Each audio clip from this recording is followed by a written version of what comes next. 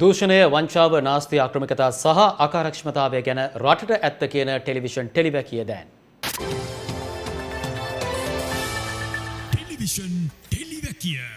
අදලයන්නේ හාරසිය දහවන ටෙලිවැකිය. ඒ දවස නිමවුණේ පුංචි දියනියකට දිවි අහිමි කරමින්. තවත් දරුවන් පස් දෙනෙකුට තුවාල සිදු කරමින්. ප්‍රමිතියෙන් තොර ඉදිකිරීමක් මේ පුංචි දියනියට තමන්ගේ උපන්දිනය දාම දිවි අහිමි කලා. දැංඉතින් පශ්චාත් මරණ පරීක්ෂණ තිබ්බ කියලා මේ දැරිවියට ආයේ ජීවිතය ලැබෙන්නේ නෑ. ඒ වගේ මයි අධ්‍යාපන අමාත්‍යංශය ඔය දැන් විශේෂ කමිටියක් එහෙම දාලා මොකද වනේ කියලා මේ හොයනවා කියලා අදවාර්තා වුණා මේක බැලූ බැල්මටම ඕනෙම කෙනෙකුට තේරෙනවා අනාරක්ෂිත ඉදිකිරීමක් කියලා. කොංක්‍රීට් කුට්ටියක් හදලා තියෙනවා පොළොවත් එක්ක කිසිම සම්බන්ධයක් නැතිව අත්තිවාරමක් නැතිව. ඒ වගේ අනාරක්ෂිත තවත් තැනක් ඒ පාසැල් ඇතුළෙම තියෙනවා කියලායි අපිට වාර්තා වුණේ. ඉතිං මේ වගේ අනාරක්ෂිත ඉදිකිරීම් අපිට කියන්ට තියෙන්නේ තව බොහොමයක් මේ රටේ පාසැල් පද්ධතිය ඇතුළේ ඇති. එනිසා මේ වෙන වෙන එකට කොමිටි දදා ඉන්නවට වඩා හරි ලේසි මේන් මේ පනිවිඩය විදුහල්පතිවරුන්ටයි ගුරුවරුන්ටයි දෙමව්පියන්ටයි යවන්ට. හොඳේ වහාම අදම ඔබේ පාසැලේ මෙවැනි අනාරක්ෂිත තැන් තියෙනවද කියලා විදුහල්පතිත් ගුරුවරු ගුරුවරයනුත් දෙමව්පියනුත් එකතු වෙලා හොයල බලන්ට.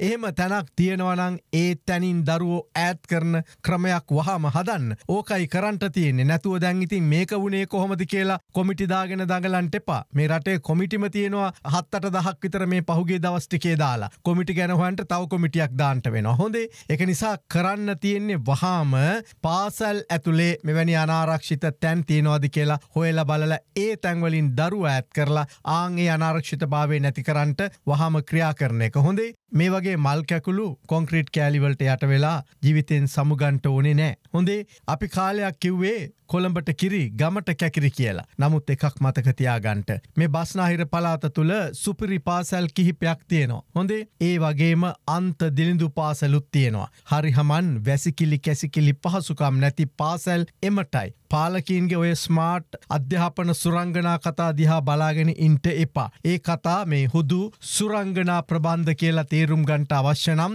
එක්දහස් නමසය හතලිස් අටේ සිට බලයගත් අප බලය දුන්. හොඳේ සියලුම පක්ෂවල ප්‍රතිපත්ති ප්‍රකාශන කියවන්ට. හරිය එක්දහසමසය හතලිස් අටේ සිට මේ දක්වා ඉදිරිපත් කර ඇති අයවැය හැත්ත අටම කියවන්න. පක්ෂ ප්‍රතිපත්ති ප්‍රකාශන වගේම අයවැයත්න් බොහෝ වෙලාවට සියට අනුවක්ම හුදු කතා. ඔවු සින්ඩරෙල්ල කතා ඩිස්නිලන්ත සංචාර වගේ කියලා ඔබට එතකොට තේරීවී. එනිසා නැවත මතක් කරනවා විදුහල්පතිවරුන් ගුරුවර ගුරුවරියන් සහ දෙමව්පියන් වහාම අදම එකතු වෙලා ඔබේ දරුවගේ පාසැලේ අනාරක්ෂිත තැන් ඇත්නම් දරුවන් ඉන් වහාම ඈත් කර තබන ක්‍රමයක් අදම හදන්න. ඔබේ දරුවගේ ජීවිතය දරුවටත් ඔබටත් පමණයි වටින්නේ. පාලකින්ගේ ඔය ටිකිරි සූකිරි බටිති කතාවලට රැවටුනා දැන් හොඳටම ඇති. මේ රට හොරුන්ගේ ගුහාවක් කියලා ඊය අර ප්‍රවෘත්ති බැලුවනම් ඔබට හොඳට තේරේවි. විශේෂෙන් ක්‍රිකට් බෝඩ් එක කෝප් කමිටුවට ඇවිල්ල කියපුව ඇහුවම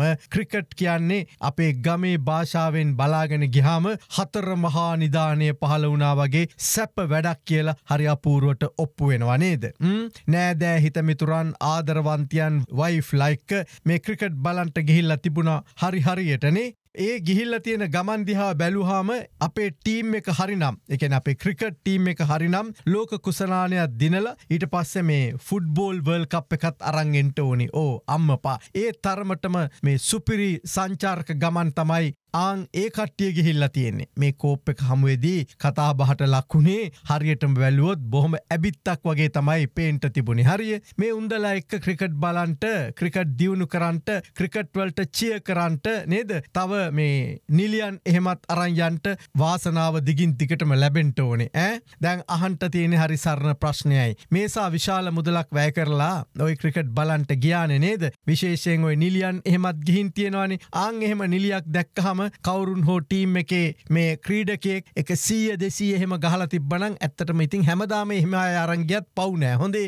එනිසා මේ ඔය තමුන්ලා ICC නෙමේ මොනසීසි එකෙන් හරි ලැබෙන මුදල් විනිවිධ භාවයෙන් යුතුව පැහැදිලිව භාවිත කළ යුතුයි. හොඳේ එම නැතුව ඔහොම රට සවාරි ගහන්ට නම් මේ මුදල් ලැබෙන්නේ මේ මුදල් වැෑ කරන්නේ අපිට කියන්ට තියෙන්නේ ඉතිං මේ ගානට හරි පැරදිලා ක්‍රිකට් ඉතුරු වෙච්චියක මදෑ කියලයි. හොඳේ ඇත්තනම ඉතින් මේ රටේ පාලකින්ගේ හැටියට තමයි හැමදේම නේද? දැම් බලන්ට අයවැය ඒක මොන තරම් රහසිගත වැඩක්ද නේද? ඒකනේ අරම අමුතු බ්‍රීෆ්කේස් එක කෙහෙම දාගෙන එන්නේ නේද? මොකද ඔය අයවැයන්නේ ඔය බඩ්ඩු මිල අඩු වැඩි කරන්නේ නේද? එතකොට විවිධ බාණ්ඩවලට බදු ගහන්නේ නේද? ඒවා මේ අයවැයට පෙර එලියට ආපු හම වැඩක් නෑනි බදු වැඩි කරන්ට ප්‍රථම දැනගත්තොත් ඒකනිකන් සීනි බද්ධ වගේ වෙනවා නේද? බද්ධට පෙර සීනි වැඩි ප්‍රමාණයක් ගෙනල්ල රට ඇතුළට දාන්ට පුළුවන්. දැන්ඔය ගෝටාබේගේ සීනි බද්දයි රනිල්ගේ සීනි බද්දයි නිකන් දෙකටම ඒ වගේ නෙවුණේ නේද?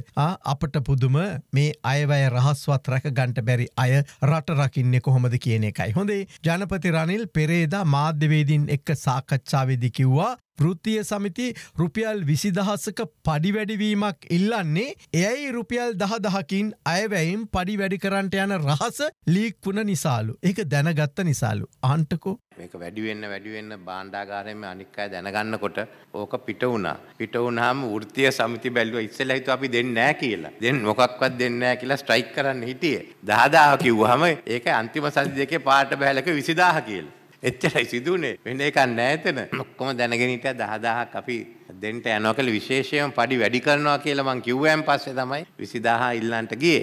ඉතින් නිකං හිතන්ටකෝ ජනපති රනිල් වටේ ඉන්නෙත් මාර පුත්‍රයින් ටිකක් නේ බලාගෙන ගියාම නේද? ජනපති රනිල්ට වඩා මේ සෙට්ටකට වෘතිය සමිතිවල නායකයෝ හිතවද්ද ඈ? දහ දහක් දෙන්ට යනවා කියලා අයවැයෙන් කියලා විසිදහක් ඉල්ලලා කුලප්පු කරන්ට තරම්. පුදුම මාරපුත්‍රයෝ ටිකක්නේ මේ යෝජනාව ලීක්කරපු ජනාධිපති ගාව ඉන්න සෙට් එක ඈ? තෝට වෘතිය සමති දහ දහ ලැබෙනවා කියලා වේල පහින් දැනගෙන තමයි මේ විස්සක් කිල්ලලා තියෙන නේද? බලාගෙන. ජනාධිපති රනිල් ගාව වෘතිය සමති අධ්‍යක්ෂ ජනරාල් කෙනෙකුත් ඉන්නවානේ නේද. කොහොම වනත් අයවැය රහස් අයවැය කියන්ටත් පෙර රටේ වෘතිය සමති වලට ලීක් කරපු එක නම් කැතයි හොඳේ කියමින් අද ටෙලිවියකි අවසන් කරන්නේ අපේ කටේ අපිම නේද? සූප්පු ගහ ගමු කියලා. හොඳේ. Yeah.